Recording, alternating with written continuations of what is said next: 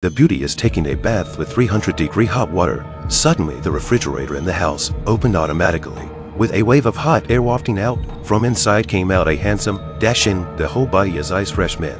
She walked towards the bathroom in a domineering manner. She wanted to peek at the beautiful woman in the shower. Just then, Mia, who was taking a bath, noticed the bathroom nozzle was actually flouncing in place. This is too weird, right? A moment of panic, too late to put on pants wrapped in a towel and rushed out of the bathroom. Just walked out and almost ran into the arms of the Iceman. Scared her to panic. The Iceman smiled littlely. This Jake is really good. Showed a lustful expression.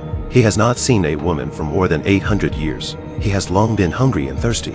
Immediately to Mia hands and feet. See her some resistance. After all, the melon is not sweet. So he decided to give her three days to think about it. Unexpectedly, the next day, Mia hired two movers at great expense. They were ready to give